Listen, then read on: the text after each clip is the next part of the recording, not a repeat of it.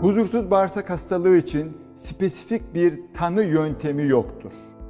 Yoktur çünkü bu hastalara yapılacak kan testleri, dışkı testleri, endoskopik görüntülemeler ve incelemeler tamamen normaldir.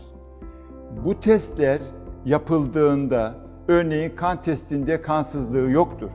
Dışkı testinde kanaması yoktur. Endoskopisinde kolit veya polip gibi bulguları yoktur. Ama hastanın karın ağrısı ve dışkılama bozukluğu söz konusudur. İşte bu belirtileri olan hastalarda yapılacak testler normal olarak bulunduğunda bu hastalık tanısı konur.